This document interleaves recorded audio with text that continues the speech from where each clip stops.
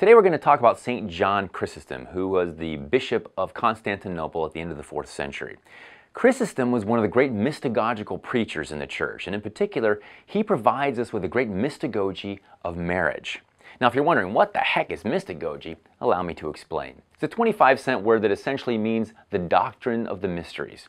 So, just as biology studies living organisms, anthropology studies man, mystagogy studies the mysteries of Christ. More specifically, mystagogy refers to the teaching of the mysteries of Christ to newly baptized believers, which generally lasts from Easter to Pentecost. And at its heart, mystagogy is all about promise and fulfillment in sacramental terms. It's an unveiling of the relationship between the Old and New Testaments and the sacramental rites of the church, showing their connection through Jesus Christ. Let me give you a quick example. To keep the angel of death from killing the firstborn at the first Passover back in Exodus chapter 12, the Israelites had to kill an unblemished lamb, spread its blood on the doorpost, and eat it. The New Testament reveals that Jesus is the true Lamb of God, whose blood was shed to deliver us from sin and death, and we consume him in the Eucharist. So, mystagogical catechesis explains how Jesus connects the Mass that we celebrate with the Passover liturgy of the Israelites. And while it applies to all the sacraments, Chrysostom gives us a mystagogy of marriage. In fact, he spoke so eloquently about this and so many other topics that he's not known to history by his real name, but as Chrysostomos, which is Greek for golden tongued. Now, the heart of John's mystagogical view of marriage is the fact that the union between a man and a woman is meant by God to be an image or an icon of the Trinitarian life. Learn the power of the type, he says, so that you may learn the strength of the truth.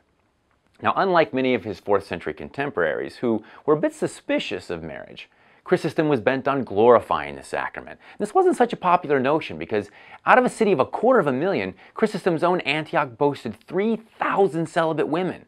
And the club scene just was not happening. A whole lot of people, women and men, just didn't understand how they could pursue both holiness and a spouse, which is a little bit ironic because my wife would tell you that being married to me provides ample opportunity for her growth and sanctity. And John would agree. Using thoroughly mystagogical language, he called it a sacrament, a mystery, a model of the Church of Jesus Christ. Of course, his theology of marriage is lifted right from the pages of the Bible. In the letter to the Ephesians, St. Paul expresses the same truth when he says, the two shall become one flesh. This mystery is a profound one, he says, and I am saying that it refers to Christ and the church.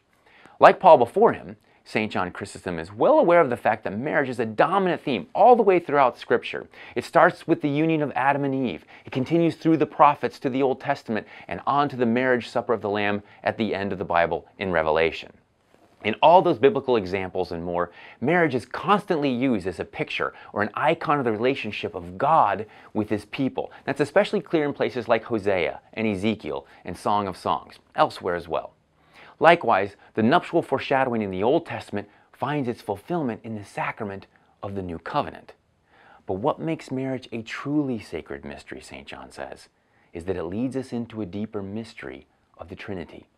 Divine revelation teaches us that the Trinity is essentially a communion of persons. As Blessed John Paul II stated, God in his deepest mystery is not a solitude, but a family, because he has within himself fatherhood, sonship, and the essence of the family, which is love.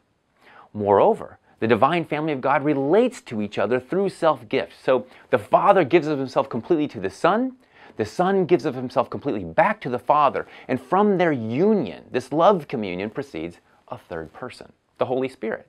Well, in a similar way, St. John Chrysostom taught that the husband gives of himself completely to his wife, the wife gives of herself completely back to her husband, and from this union of love, this complete self donation comes a third person. The child, says Chrysostom, is a bridge connecting mother to father, so the three become one flesh, and here the bridge is formed from the substance of each.